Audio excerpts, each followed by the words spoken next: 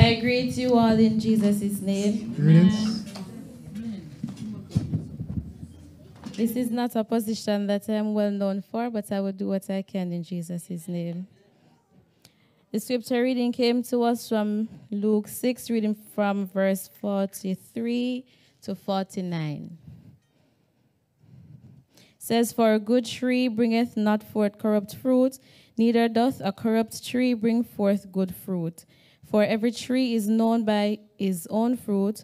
For of thorns men do not gather figs, nor of a bramble bush gather they grapes. A good man out of the good treasure of his heart bringeth forth that which is good, and an evil man out of the evil treasure of his heart bringeth forth that which is evil. For of the abundance of the heart the mouth speak, it. We worship the Lord.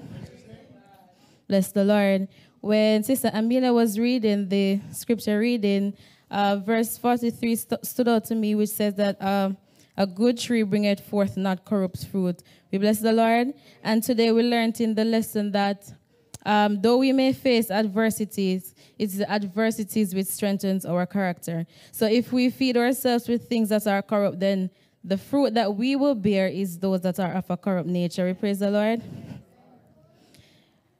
He says that a good man out of the good treasure of his heart bringeth forth that which is good, and an evil man out of the evil treasure of his heart bringeth forth that which is evil. And it, then it goes on to say, uh, for of the abundance of the, the heart, the mouth speaketh. So whatever it is that comes out of us, it is what is in our heart. So if we feed ourselves daily with the word of the Lord, then that is what will come out from us. We praise the Lord.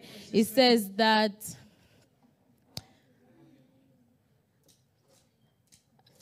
All right, so it slipped me. It's something of the vessel, saying that they cannot dwell in dirty vessel. I'm not new wine, right? Cannot be cannot be placed in a dirty vessel. So whatever it is that we are putting in us, if it is something that is good, then that is what will come out. We praise the Lord. Bless the Lord. And why call he me Lord, Lord, and do not the things which I say? Whosoever cometh to me and heareth my sayings and doeth them, I will show you to I will show you to whom he is like. He is like a man which built a house and dig deep and laid the foundation on a rock. And when the flood arose, the stream beat vehemently upon the house and could not shake it, for it was founded upon a rock. But he that heareth and doeth not is like a man that without a foundation built a house upon the earth, against which the stream did not did beat vehemently, and immediately it fell, and the ruin of the house was great. Bless the Lord.